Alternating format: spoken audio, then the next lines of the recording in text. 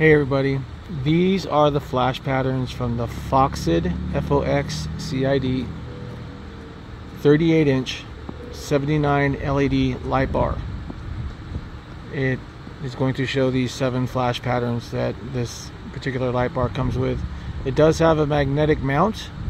I will show that to you in a second, but I have to start off by saying that these lights and all of the lights on this vehicle are not street legal unless you are a volunteer firefighter or first responder. So um, I would highly advise not using these on the streets. Again, if you're a volunteer, firefighter, or first responder, thank you for your service, first of all, because that's uh, I do volunteer work and that's why I have the lights. But again, they are not street legal. Okay, so here's the Foxcid LED light bar. It is the 38 inch and as you can see it's got magnetic mounts and the, mag the magnet mounts are pretty nice.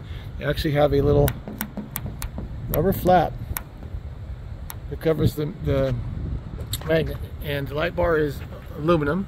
It is very lightweight and it's actually hollow in the middle but it does not take much to get this thing to come off. So I am going to put two uh, I'm going to replace these magnets with uh, um, 80 pound magnets on each side. So so uh, I have no risk of this thing blowing off or moving. Um, it may not but I'm not going to risk it. So let's get with the first flash pattern. This is flash pattern number one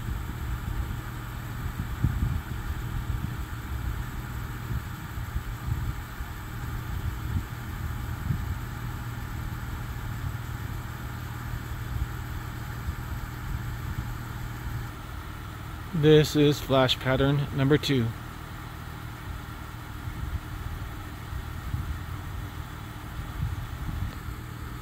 Flash pattern number three.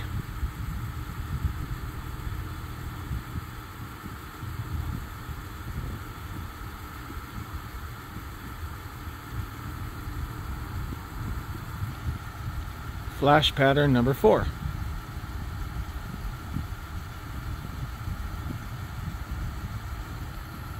Flash pattern number five.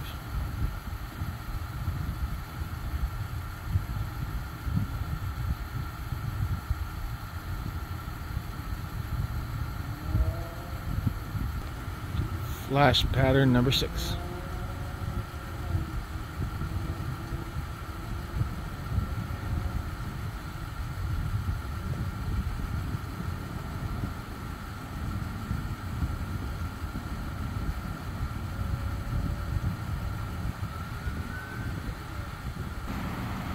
and flash pattern number seven which is a steady burn and a full walk around.